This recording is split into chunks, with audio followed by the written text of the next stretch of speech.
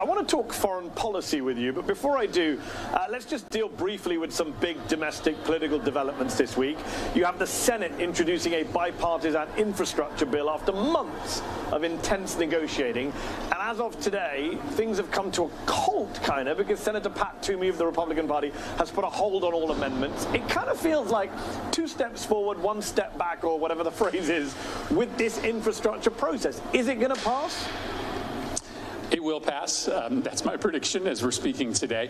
Uh, listen, this is a muscle that the United States Senate has not used in years, uh, passing big, uh, complicated, and important bipartisan pieces of legislation. So it's going to take us a little while to get to the finish line, but we'll get to the finish line because in, in the end, there are uh, more than 10 Republicans who will vote to end debate uh, and move to a, a final consideration of uh, a $500 billion infrastructure bill that will be the biggest bipartisan investment in concrete infrastructure in the history of this country. It doesn't solve all of our problems, but it's been a priority of President Biden's to show that Republicans and Democrats can still work on big things together, and it will, um, you know, create a lot of short-term jobs and free up a lot of long-term economic development by cutting down on our commutes in the Northeast, upgrading our uh, energy infrastructure so that we can put more renewables on the grid, um, more electric vehicle charging stations so we can sell more electric vehicles made in the United States. All good news.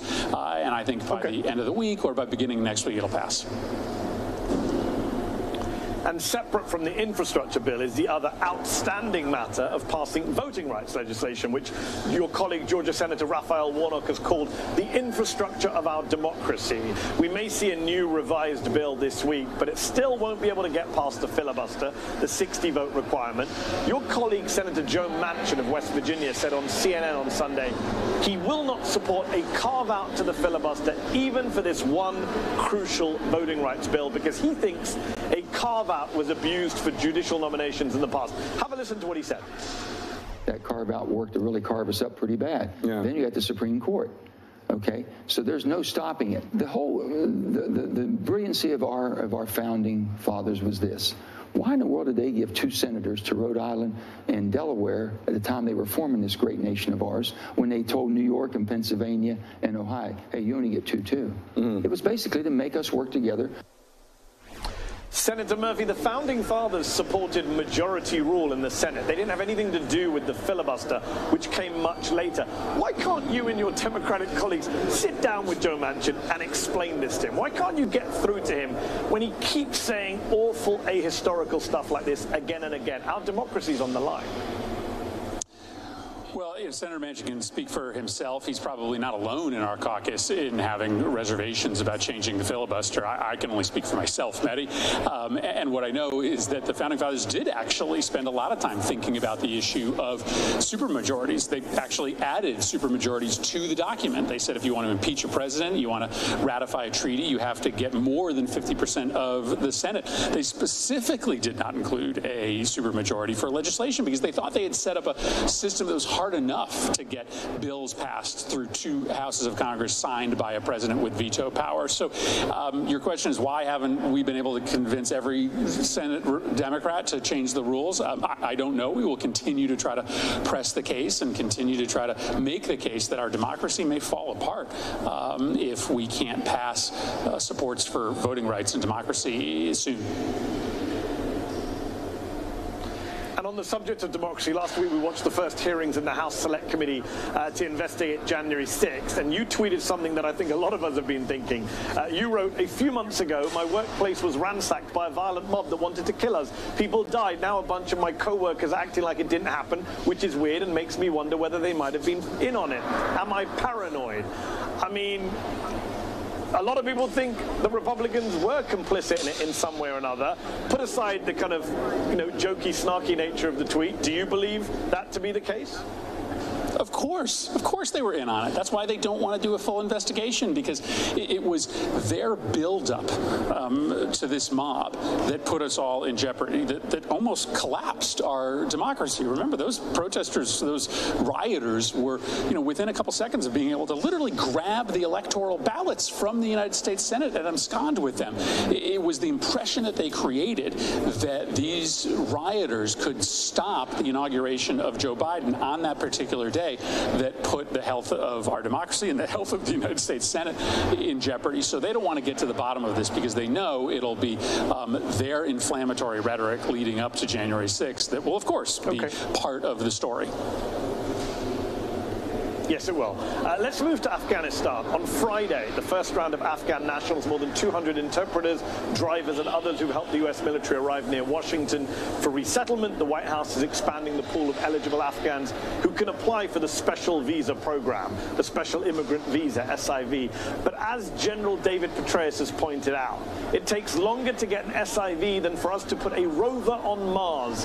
Why is it, Senator, that we can invade and occupy a country for two decades, but suddenly we're defeated by internal bureaucracy when we need to help our Afghan allies resettle here.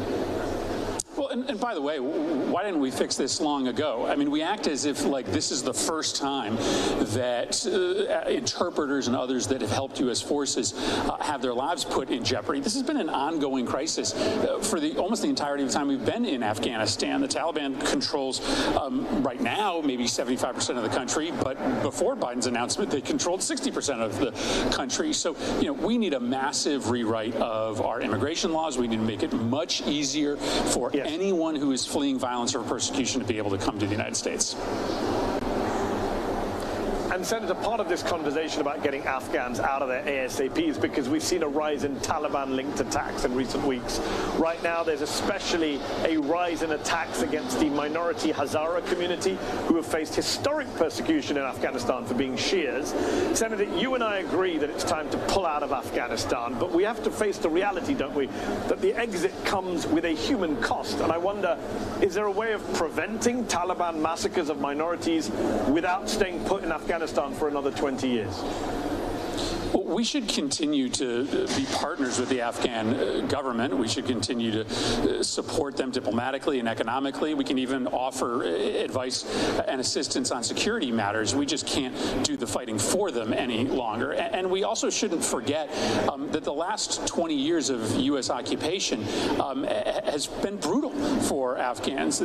What's happening now is um, absolutely horrific to watch, but there have been massacres all throughout the U.S. occupation, and we have arguably just um, exacerbated the crisis by lengthening the time that it took for there to be a settlement between the Afghan government and the Taliban. Um, I would argue that the same thing happened in Syria, that uh, Assad was going to win that war, and the United States participation in it um, just lengthened the time that the civil war took. So we also shouldn't be, um, we shouldn't forget um, the cost that our occupation has um, borne to Afghan citizens over the course of the last 20 years.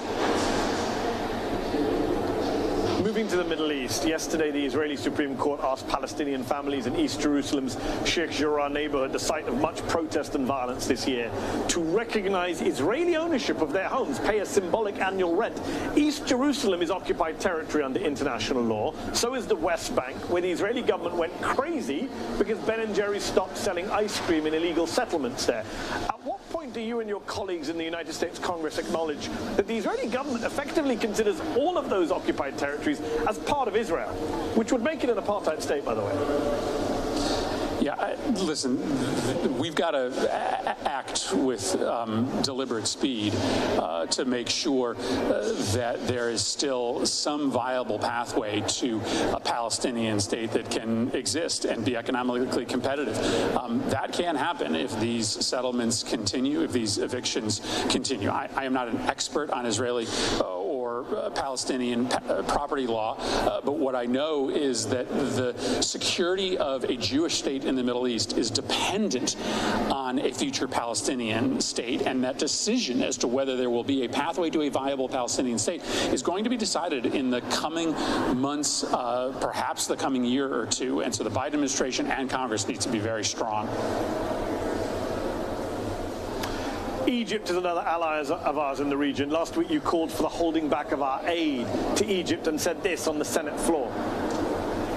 An administration that wants to lead on democracy and human rights cannot send another $1.3 billion to Egypt with no strings attached.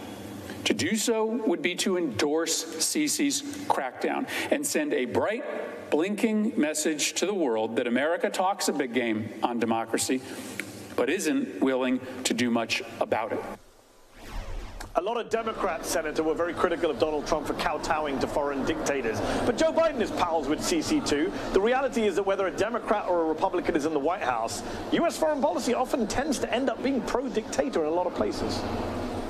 Sisi has uh, somewhere around 60,000 political prisoners right now in Egypt. That is a stunning number.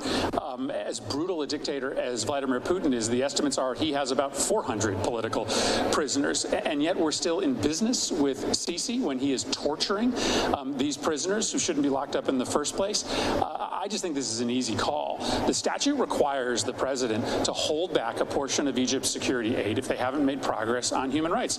Not only have they not made progress, they they've moved backwards. Just a month after Biden was sworn in, uh, they started targeting yes. uh, the relatives of an American citizen who has been critical of the regime. So, you know, I just don't think we can be credible internationally on the issue of human rights if we aren't able, if we aren't able and willing occasionally uh, to set an example. And this is an opportunity to do it. We don't have to end our security yes. relationship with Egypt. Just hold back some of the money just before we run out of time, you and two other senators, Democrat Bernie Sanders, well, independent Bernie Sanders and Republican Mike Lee of Utah, introduced a pretty major bill today called the National Security Powers Act that would, as you put it, reclaim Congress's critical role in national security matters. Essentially, the president would have to get Congress's approval in the case of military force, emergency powers, arms exports. And I wonder, it sounds like a great bill to me. I just wonder, a liberal, a democratic socialist, and a libertarian came together on this? How did that happen? Yeah, it's a strange coalition, but we all believe um, that the American people should have a say in whether we go to war or whether we sell arms. Um, you know, the foreign policy consensus here in Washington loves foreign interventions. They love selling arms because they make money off of it. Um, the American public are much more hesitant because it's their sons and daughters that end up getting sent overseas to fight these wars. So Sanders, Lee, and I, um, we put together a bill um, that just puts a lot more power back in Congress. It says if there's not an authorization to fight a war overseas, the money gets automatically cut off. Um, that's very different than today, where presidents can perpetuate wars overseas, and it's up to Congress to pass legislation, which the president then has to sign to stop that funding from going forward. I think this bill just puts a lot more power back in the hands of the people on matters of national security. I think that's what our founding fathers um, designed. Hi, I'm Mehdi Hasan. Thanks for checking out our channel on YouTube. You can see more of The Mehdi Hasan Show by clicking on any of the videos on this screen and make sure you subscribe below to stay up to date on the day's biggest stories. Thank you for watching.